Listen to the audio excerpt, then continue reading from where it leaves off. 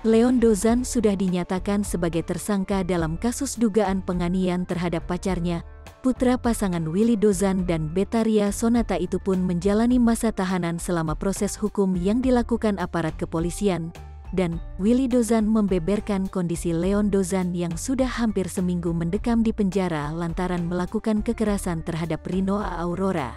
Sebagai seorang ayah, Willy Dozan terus menjenguk sang putra, Leon setiap hari. Kita setiap hari besuk, ujar Willy Dozan di kawasan Tendean, Jakarta Selatan, Rabu, tanggal 22 November tahun 2023. Menurut Willy Dozan, Leon Dozan dalam kondisi baik. Selain itu, Leon Dozan juga sudah menyadari kesalahannya yang diduga melakukan kekerasan terhadap Rino A. Aurora. Leon baik kondisinya. Dia sudah menerima ada kesalahannya, terang Willy Dozan, ada kesalahan yang harus diperhatikan. Ini wewenang kepolisian saya enggak berhak bicara, lanjut mantan suami Betaria Sonata. Menurut Willy Dozan, sang putra tak menjalani terapi untuk memulihkan kondisi mentalnya. Seperti diketahui, Leon Dozan diamankan pihak Polres Jakarta Pusat usai dilaporkan Rinoa Aurora atas dugaan kekerasan. Video dugaan kekerasan yang dilakukan Leon Dozan terhadap Rinoa Aurora Senduk pun ramai di media sosial. Dalam video yang beredar, Leon Dozan mengalungkan lengannya di leher Rinoa Aurora dan menantang polisi. Leon Dozan diamankan pihak kepolisian sehari setelah video kekerasannya terhadap Rinoa Aurora viral di sosial media.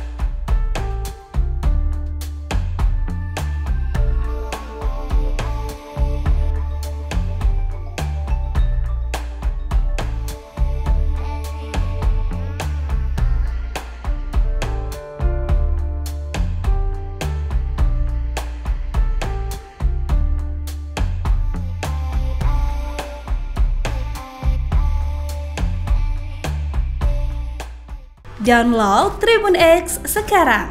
Menghadirkan lokal menjadi Indonesia.